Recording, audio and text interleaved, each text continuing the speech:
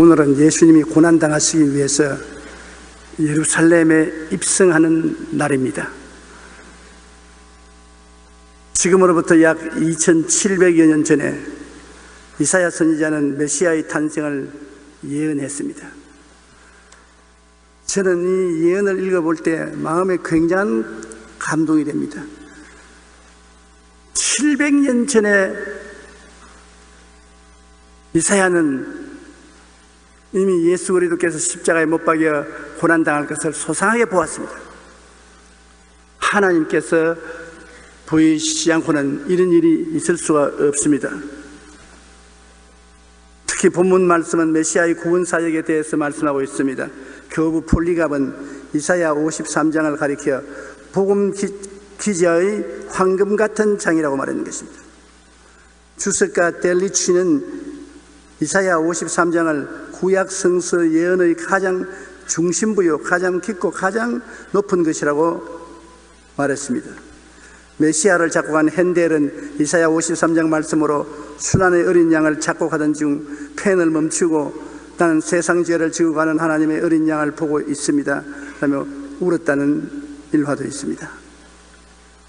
헨리 나우에는 이사야 53장에 나타난 고난받는 예수님의 모습을 상처받은 치유자의 모습으로 우리를 구원하신다고 말씀하셨습니다. 자기가 상처를 받아서 고난당함에도 불구하고 상처받은 자가 우리를 치료해 준다는 것입니다. 오늘 말씀을 보면 선지자 이사야도 주전 600년에서 700년 전에 예수님의 일생을 환상 중에 보면 너무나 놀라고 충격을 받아 부르짖었던 것입니다. 이 예언서를 통해서 보면 그의 태어남과 외적 환경의 비천함을 우리에게 보여주고 있습니다. 그는 연한 순같이 마른 땅에서 나온 뿌리 같다고 했습니다. 비유컨대 연한 순이라는 것은 굉장히 허약함을 말합니다. 시골에서 자란 사람은 봄이 되면 식물의 순이 나는 것을 볼 수 있습니다. 그것은 짐승이 밟아도 부러지고 사람이 밟아도 붉어지는 아주 연약합니다. 하나님의 아들, 만왕의 왕, 만주의 주가 연한 순같이 아무런 힘도 없이 자라났다는 것입니다. 그리고 마른 땅에서 나온 뿌리 같아서 너무나 척박한 환경에서 겨우 생명을 유지하는 그러한 나무 뿌리 같아. 그 생활이 바로 그렇게, 그랬던 것입니다. 고운 모양도 없고 풍채도 없었다고 했는데 벌써 나이로 태어날 때부터 야 그놈 잘났다 잘생겼다 훌륭한 사람이 되겠다 그렇게 우리가 종종 말하지 않습니까? 근데 예수 그리스도는 어린아이 때 고운 모양도 없고 당당한 인물이 된 풍채도 없고 너무 빈약하여서 이사야 보기에도 감탄하고 존경할 것이 없었다고 그랬습니다. 여러분이는 나보다 못났다는 것입니다. 이사야 53장 2절에 그는 주 앞에서 자라나기를 연한 순 같고 마른 땅에서 나온 뿌리 같아서 고운 모양도 없고 풍채도 없은즉 우리가 보기에 흠모할 만한 아름다운 것이었도다. 어린애를 얻고 나가도 아무도 어디 보자 왔다 그럼 잘생겼구나 그렇게 할 상대가 못 된다는 것입니다. 고유 모양도 없고 풍채가 없은즉 아무도 흠모할 자가 아니었다는 것입니다. 가장 평범한 인간으로 주님은 태어나신 것입니다. 누가복음 2장 4절로 7절에 보면 요셉도 다윗의 집 족속이므로 갈릴리 나사렛 동네에서 유대를 향하여 베들레헴이란 다윗의 동네로 그 약혼한 마리아와 함께 호적하러 올라가니 마리아가 이미 잉태하였더라. 그게 있을 그때 해산할 날이 차서 첫 아들을 낳아 강부로 사서 구유에 누였으니 여인은 영원에 있을 곳이 없음이라. 이사야가 예언한 건 그대로 이루어진 상태를 설명하고 있는 것입니다. 그리고 예수 그리스도는 유대 사회에서 자라면서 인간들의 대접을 받지 못했습니다. 유대교의 제도와 조직 안에서 그는 쓸 곳이 없었습니다. 엄격한 유대교의 율법과 제도에 예수 그리스도는 몸 붙일 데가 없었습니다. 그는 갓난 신고를 많이 당했으며 병자들만이 그를 따랐습니다. 보통 사람들은 예수님을 이단이라고 생각하고 안 따랐어요.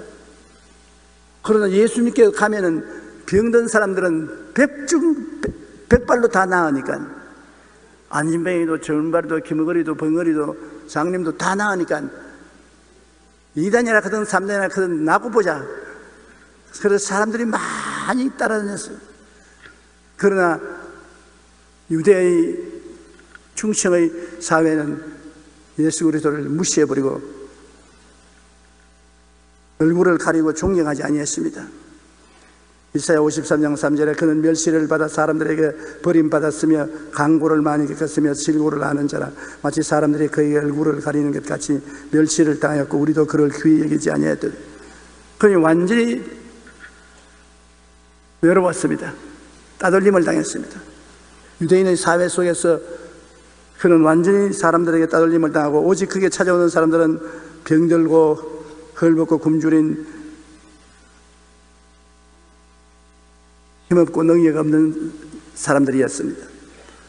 마태복음 4장 23절로 24절에 보면 예수께서 온 갈릴리에 두루 다니시며 그들의 회당에서 가르치시며 천국 복음을 전파하시며 백성 중에 모든 병과 모든 약한 것을 고치시니 그의 소문이 온 수리아에 퍼진지라 사람들이 모든 앓는 자 곧 각종 병에 걸려서 고통당하는 자 귀신 들린 자 간절한 자 중풍병자를 데려오니 그들을 고치더라. 이사야가 예언한 그대로입니다. 평범한 삶 중유사회의 사람들은 완전히 예수를 무시하셨으나 예수님이 병은 다 고쳤으니까 보면 놀랍, 놀랍습니다. 백성 중에 모든 병입니다. 한두 가지 병이 아닙니다. 그리고 모든 약한 것입니다. 한두 가지 약한 거 아니고 모든 약한 것. 그러니 뭐 그리스도 안에 치료받으러 줄을 설 수밖에 없습니다.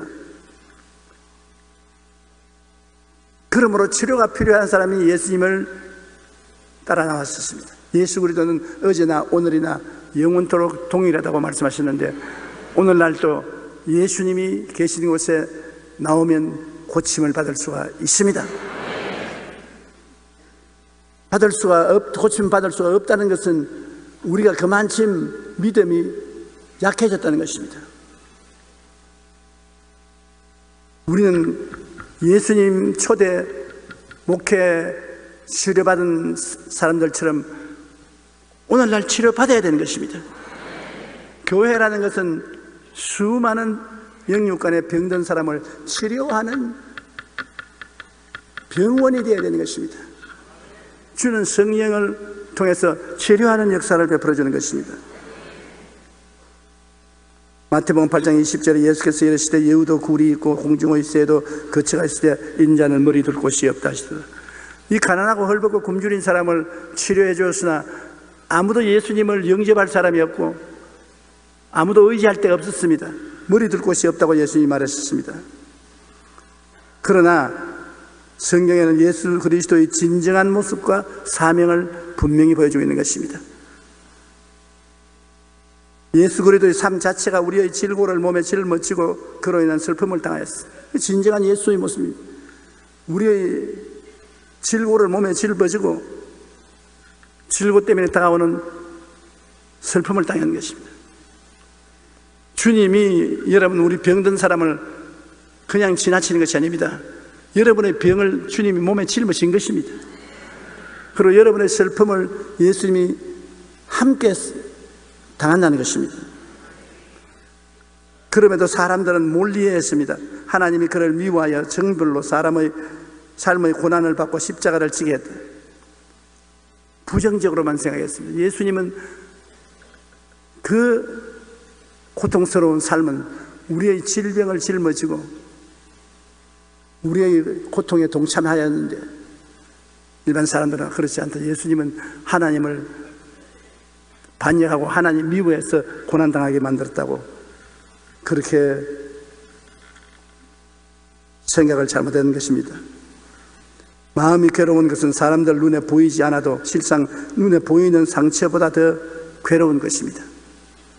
예수님은 그의 삶 자체가 우리의 죄악을 온몸에 짊어지고 그로 인하여 슬픔을 당하였습니다.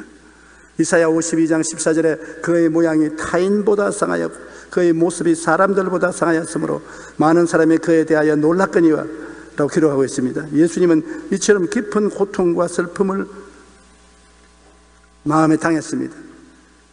그런 고통을 당해도 사람들은 예수님의 마음이 안 보이니까 누가 알라? 그 고통당한 누가 알아? 인정하지 않았습니다. 마가복음 15장 15절로 20절에 보면 빌라도가 무리에게 만족을 주고자 하여 바라바는 놓아주고 예수는 채찍질하고 십자가에 못 박게 넘겨주니라.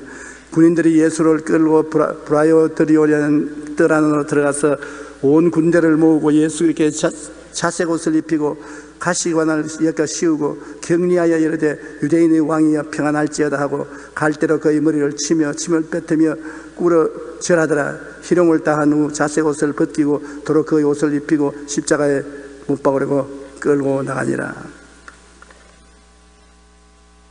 우리는 예수님의 죽음을 생각하면 그의 단순히 십자가 형틀에 달려서 돌아가신 것을 생각합니다 그러나 지금까지의 연구 결과에 의하면 예수님 시절에 십자가에 못 박인다는 것 형벌은 제일 마지막 순서에 십자가에 못 박이는 겁니다.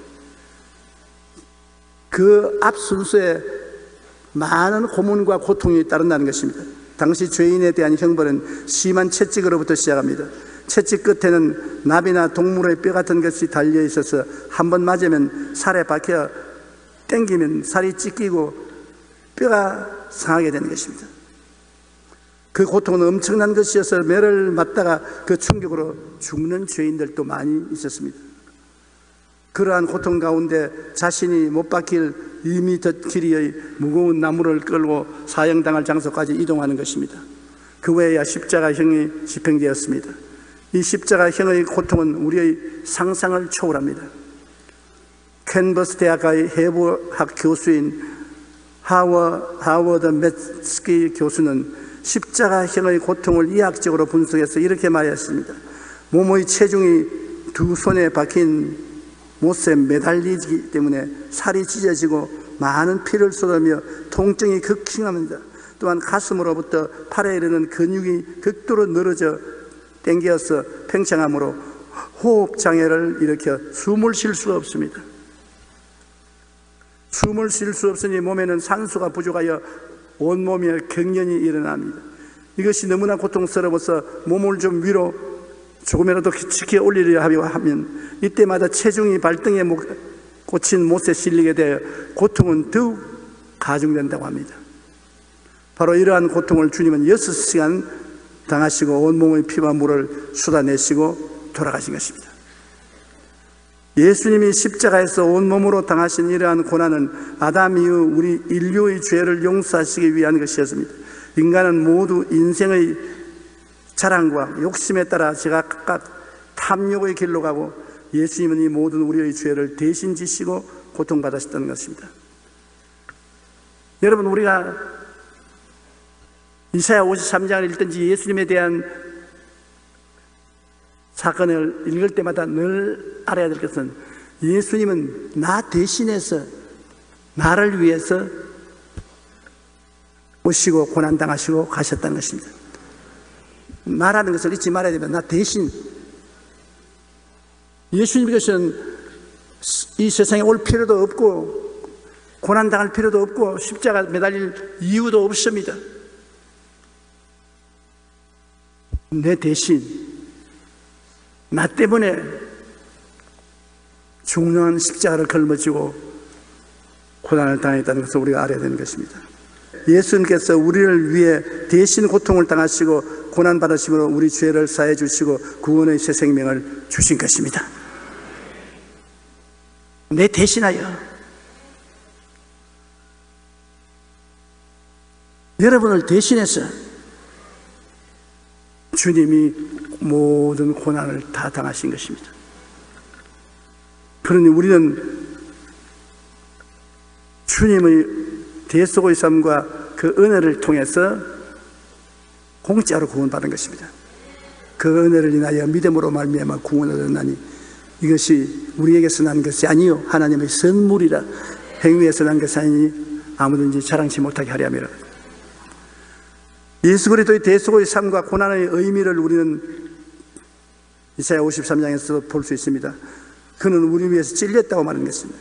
그가 찔리면 우리 허물이 나며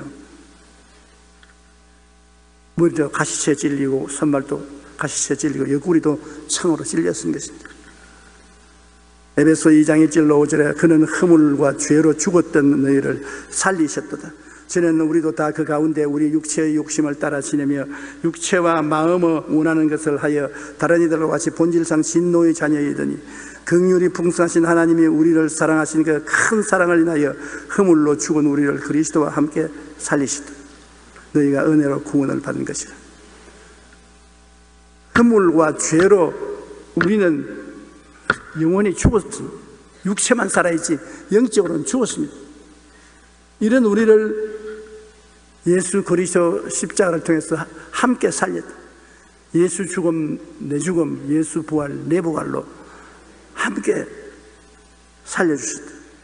허물로 죽은 우리를 그리스도와 함께 살리셨다. 예수 그리스도를 구주로 믿는 여러분은 오늘 모두 다 사망에서 생명으로 옮김을 받았습니다. 살아난 사람입니다. 한번 따라 말씀해 주셔서 나는 영적으로 예수님과 함께 살았습니다. 얼마나 감사한 일이겠습니까?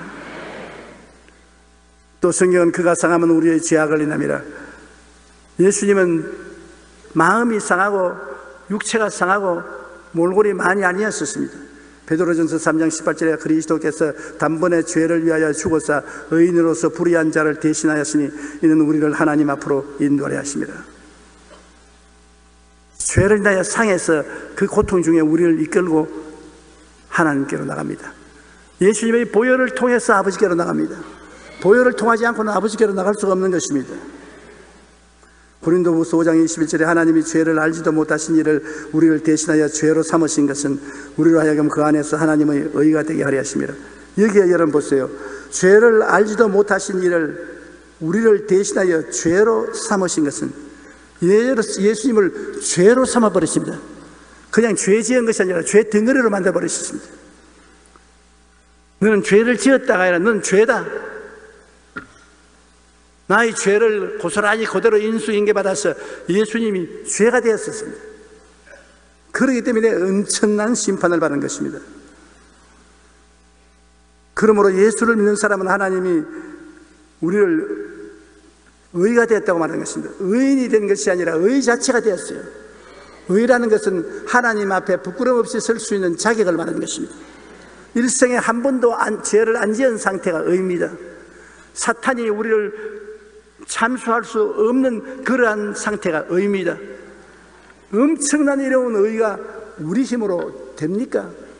예수님 때문에 의롭게 되는 것입니다.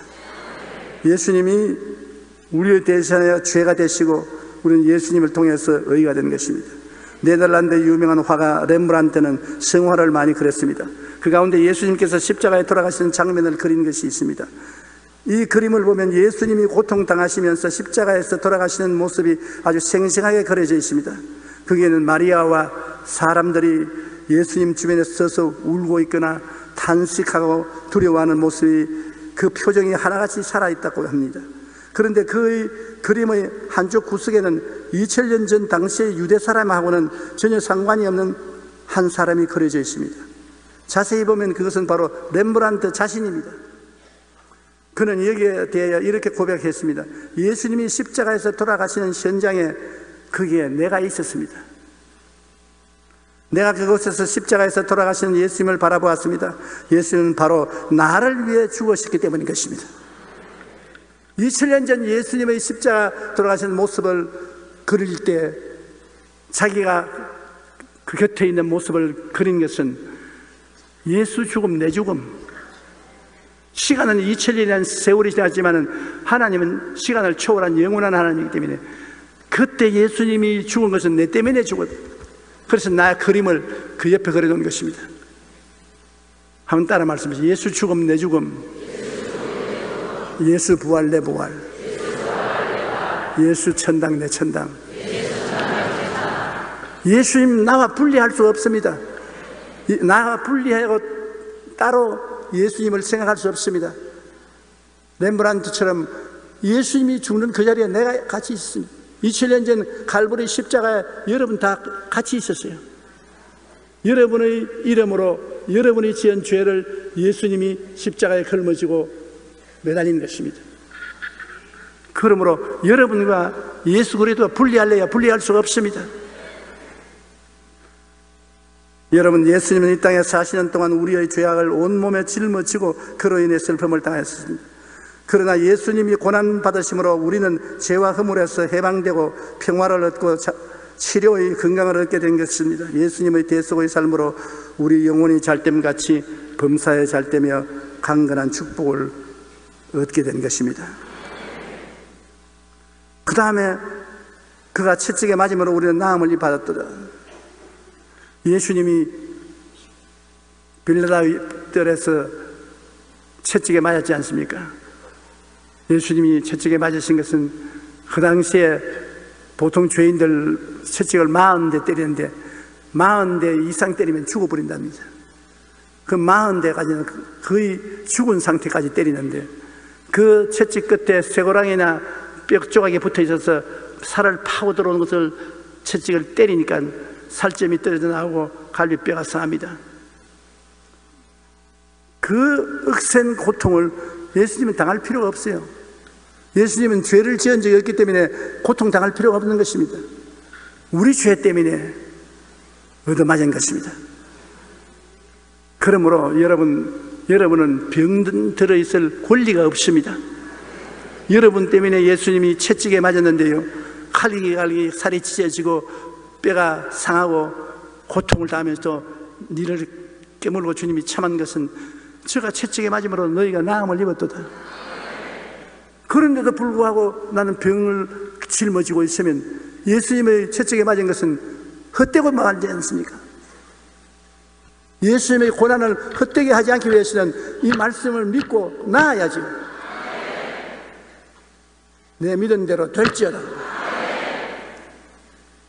2000년 전에 채찍에 맞으신 예수님은 지금 바로 여러분 곁에 채찍 맞은 그대로 와 계신 것입니다. 예수님이 채찍 맞은 모습을 보고 난 나아야지.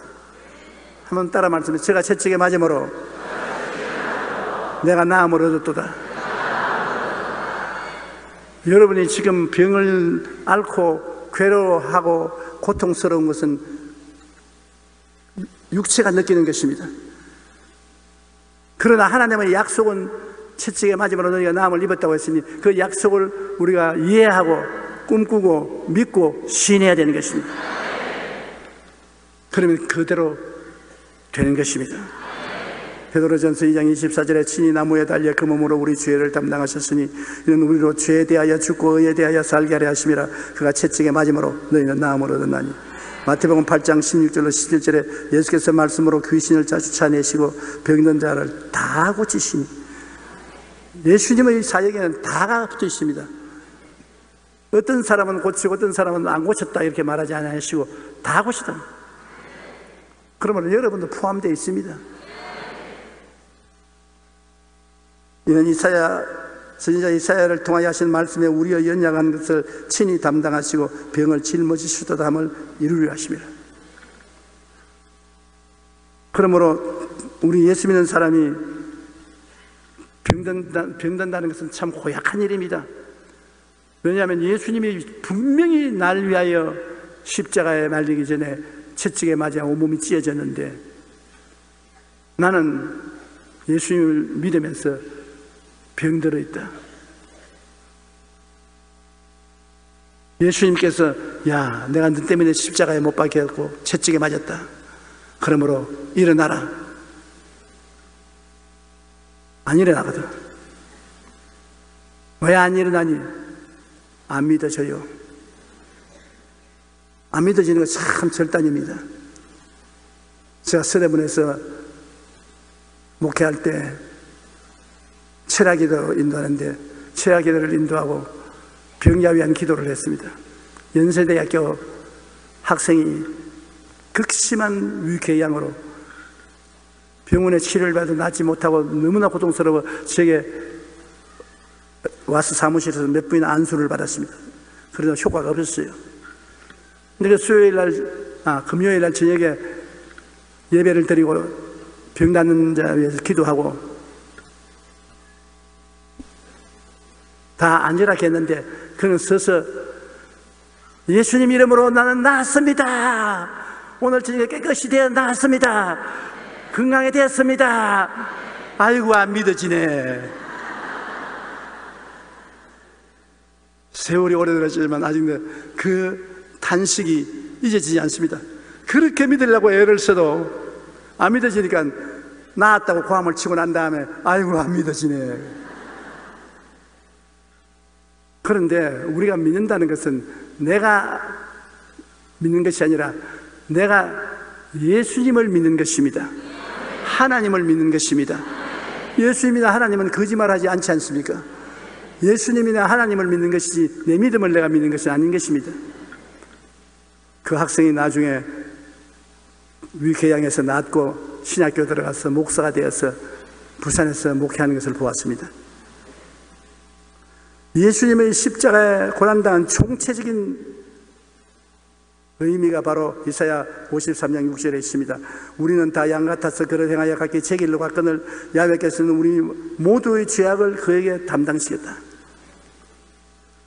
우리 모두의 죄악을 그에게 담당시켰다. 우리는 하나님의 길이 아닌 제 탐욕의 길로 다 나갔습니다. 하나님 믿지 않았어요. 전부 탐욕의 길로 갔습니다. 이 모든 죄의 책임을 하나님은 예수님께 짊어지었습니다. 요한복음 1장 29절에 보라 세상 죄를 지고 가는 하나님의 어린 양이로다.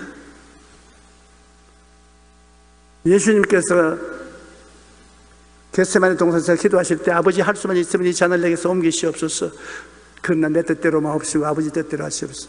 왜냐하면 이 고난이 하나님의 아들조차 두려워하는 고난입니다.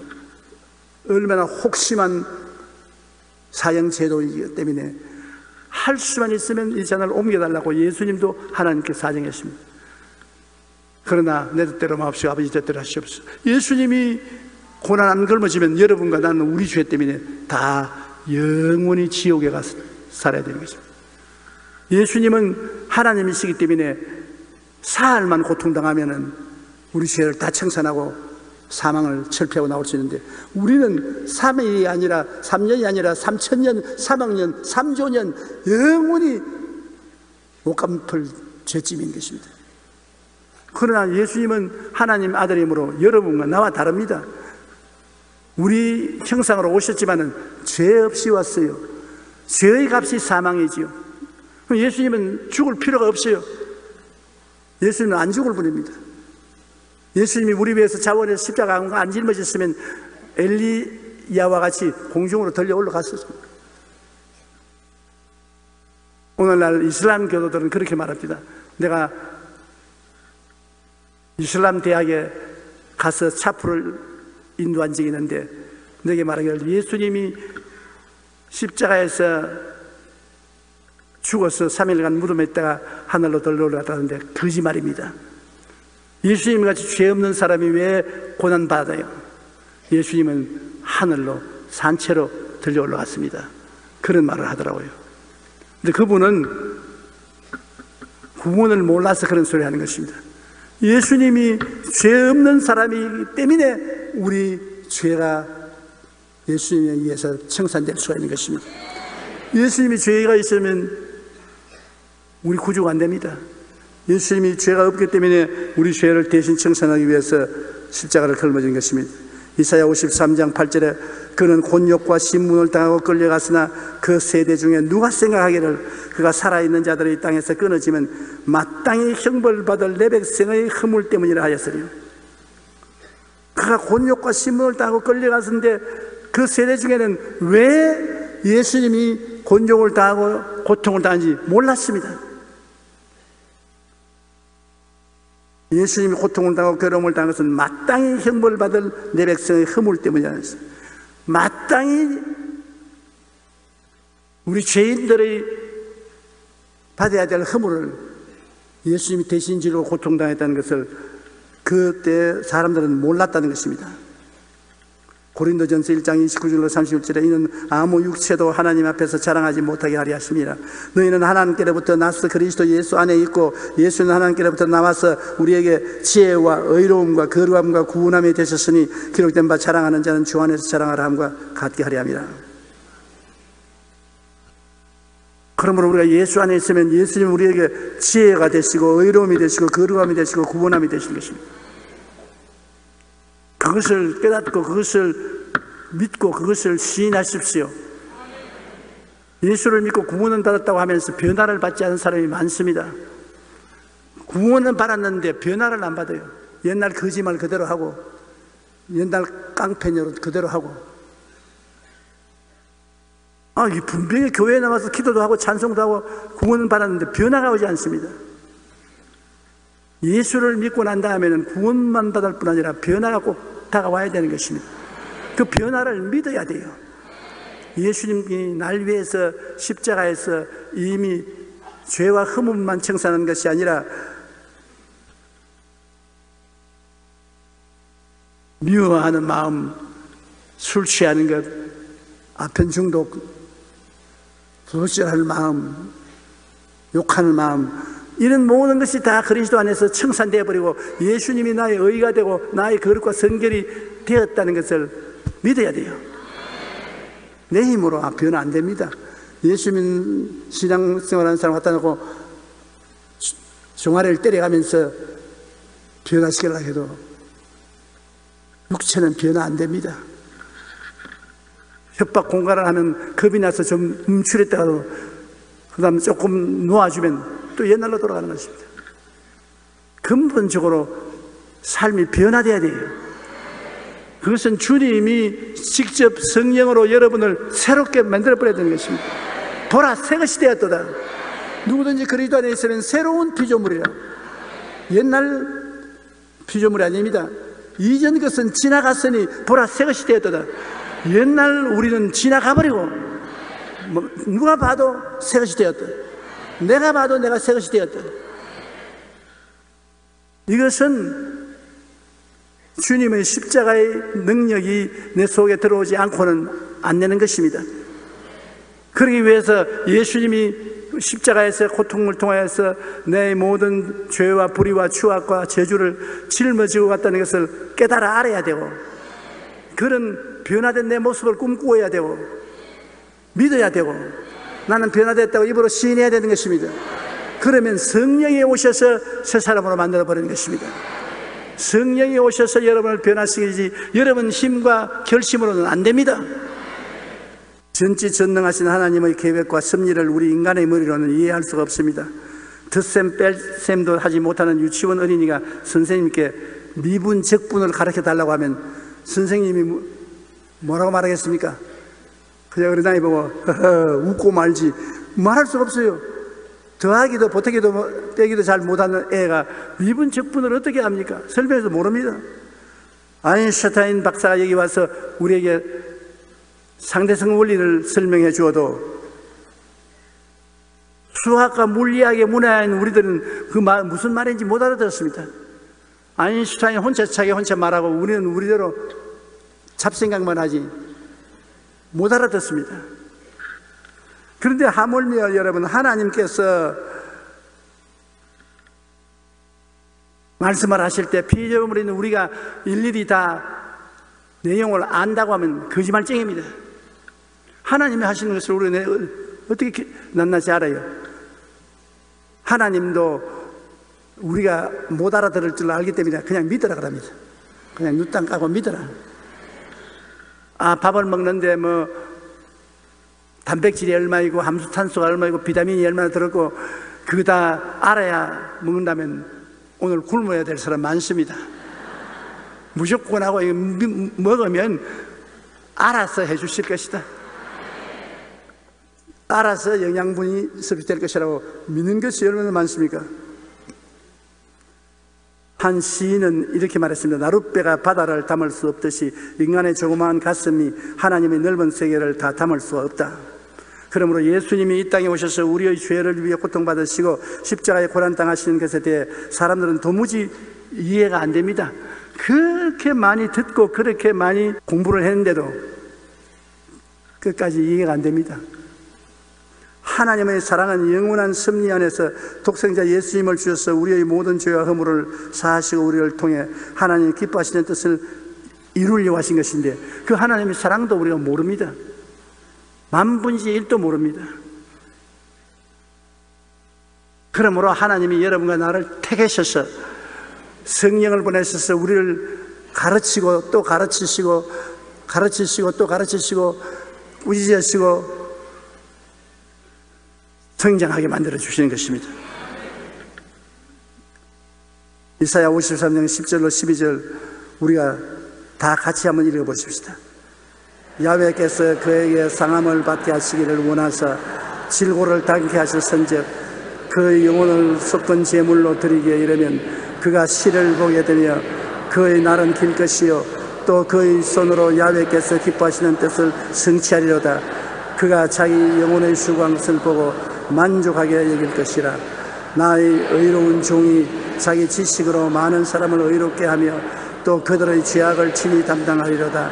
그러므로 내가 그에게 존귀한 자와 함께 몫을 받게 하여 강한 자와 함께 탈취한 것을 나누게 하리니 이는 그가 자기 영혼을 버려 사망에 이르게 하며 범죄자 중 하나로 헤아림을 받았음이니라. 그러나 그가 많은 사람의 죄를 담당하며 범죄자를 위하여 기도하였나니라 폐 일어나고 예수 그리스도의 삶은 나를 위한 삶인 것입니다 나 위하여 십자가에 중한 고통 당하사 대신 죽은 주 예수의 사랑하는 은혜여 보배로운 피를 흘려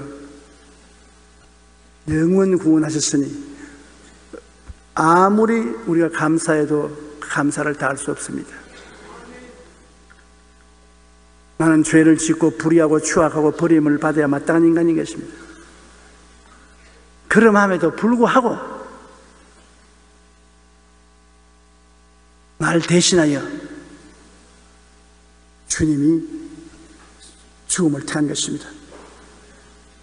주님께서는 하나님 아버지 앞에서 아버지 내가 조용기를 대신해서 죽었습니다. 조용기의 죄와 불의 추악과 저주 절망과 죽음은 내가 대신했습니다. 장부를 보십시오. 빚이 없지 않습니까? 내가 다 청산했는데요.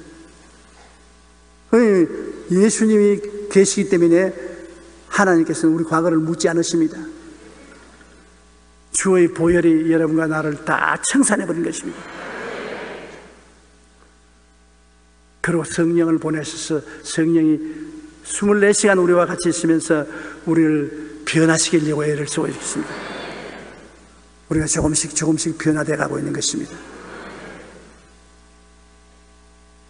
이 예수 그리스도의 은혜는 생각하면 생각할수록 마음이 더 감격에 넘치게 되는 것입니다. 여러분, 예수님의 고난을 잊지 마십시오. 매일같이 갈보리 십자가를 바라보십시오. 매일같이 갈보리 십자가를 바라보면서 예수님은 나의 죄를 위해서 십자가에 못 박혔다. 나는 용서와 의로움을 얻었다. 예수님이 나의 불의와 추악을 위해 십자가에 못 박혀서 나는 성결함을 얻었다. 제가 채찍에 맞음으로 내가 나음을 얻었다. 제가 나의 재주를 걸머지고 아브라함의 복을 주셨다. 제가 사망과 음부를 실패하시고 부활과 영생을 내게 주셨다. 그걸 자꾸 입으로 외우십시오. 매일같이 십자가를 바라보고 여러분이 그것을 깨닫고 그로 말미암아 변화된 여러분을 꿈꾸고 믿고 입으로 없는 것을 있는 것까지 시인하면 여러분은 새로운 인종이 되는 것입니다. 그리스도의 사람이 되는 것입니다. 옛 사람은 지나가 버리고 새 사람이 되는 것입니다. 내 힘으로 되는 것이 아닙니다. 성령의 능력으로 되는 것입니다. 여러분은 항상 십자가를 바라보고 주님, 나는 십자가를 통해서 기쁩니다. 행복합니다. 현재 안 기쁘고 안 행복해도 예수 그리스도로 말미암아 기쁘고 행복하다고 생각하고 꿈꾸고 믿고 말하면 여러분 희한하게 행복해지고 기뻐지는 것입니다. 그것이 신앙인 것입니다. 하나님의 능력으로 행복해지요 기뻐지는 것입니다. 우리는 예수 믿는 사람 이 3차원의 세계 눈으로 보고 귀로 듣고 냄새 맡고 맛보고 만지는 이 세계 속에서 사는 것이 아니라 이 세계를 초월해서 우리는 하나님의 말씀의 지식과 성령으로 우리 마음에 주시는 꿈과 믿음과 입술의 시인을 통해서 새로운 세계를 만들어서 사는 것입니다. 그러므로 우리는 별난 사람들입니다. 특별한 사람들인 것입니다. 왕 같은 세상이요, 거룩한 나라요, 그 소유된 백성이 되어서 사는 것입니다. 십자가는 괴로운 것이지만은 부활을 위해서는 십자가가 있어야 되는 것입니다. 동전의 앞뒤와 같은 것입니다. 죽음이 있으면 부활이 있습니다. 부활이 있으면 죽음이 있어야 되는 것입니다. 그러므로 예수 그리스도의 죽음과 부활을 우리가 믿고 가슴에 받아들이므로 여러분 우리는 완전히 하나님이 자랑하는 보라 새 것이 되었도다. 새로운 삶을 살 수 있는 것입니다. 잠시 동안 고개에서 기도하십시오. 하나님 아버지, 우리 힘으로는 죄사함도 받지 못하고 구원도 받지 못하고 하나님 나라에 들어갈 수도 없는데 예수님이 날 대신해서 고난당하시고 죄를 청산하시고 거듭나게 해서 하나님 백성이 되게 만들어주심을 감사합니다. 예수님이 우리 가슴 한가운데 늘 와서 계심을 감사합니다. 우리는 그 십자가를 늘 바라보고 새 사람 된 나를 시인하고 바라보고 믿고 주장하게 도와주시옵소서. 새 사람으로 살고 옛 사람으로 살지 않게 도와주시옵소서. 언제나 천국 속에 살게 도와주시옵소서. 천국의 행복과 기쁨이 우리 속에 충만하게 도와주시옵소서. 예수님 이름으로 기도합니다.